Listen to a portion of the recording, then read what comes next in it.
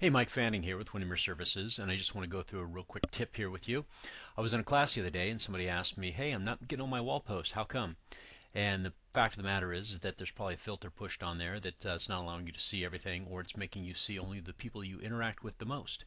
So let me show you real quickly how you fix that or remedy that. Very simple. Go up here and click on your home page. Uh, once you've clicked on the home page, what you're going to do is there's a little menu at the top called Most Recent drop that arrow down and go down to edit options. Inside the edit options it says show posts from and you have two choices friends and pages you interact with the most and all your friends and pages. Uh, and if you have it set to friends and pages you interact with the most it's going to limit the posts that you see.